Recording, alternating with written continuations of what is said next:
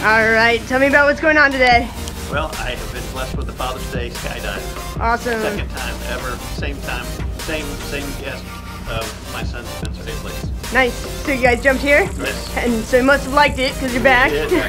well, happy Father's Day. Thank you and appreciate that. Are you more or less nervous for this one? Not, I was nervous last time, and I'm definitely less nervous this time. Awesome. Well, then let's have a good time. Super. Anybody want to say hi to at home? Uh, yeah. Hi, Mary. I left you everything. It's okay. Have fun, guys. We'll see you up there.